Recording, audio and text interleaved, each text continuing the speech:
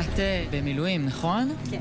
ומה מה את עושה בחייך הפרטיים? אני מרכזת שבט בצופים ברעננה. מרכזת שבט? כן.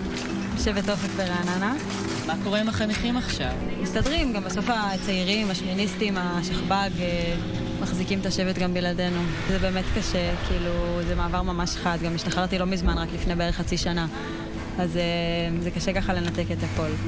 אה, אבל בסוף אין מה לעשות, כל, כולם עושים ויתורים בשביל המלחמה הזאת.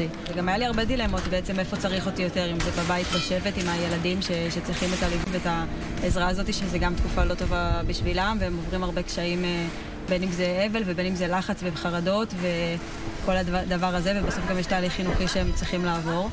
אה, אבל מצד שני, כרגע בסוף קודם כל הביטחון יותר חשוב וצריך אותנו פה. וברגע שנסיים אז אה, נחזור לחיים שלנו וננסה להמשיך כרגיל, אבל אני חושבת שכבר המלחמה בכל מקרה פגעה בכולנו ושברה את השגרה. אז אה, עד שלא נוכל לסיים אותה כמו שצריך ולהרגיש בטוחים, לא אי אפשר לחזור לעבודה כרגיל.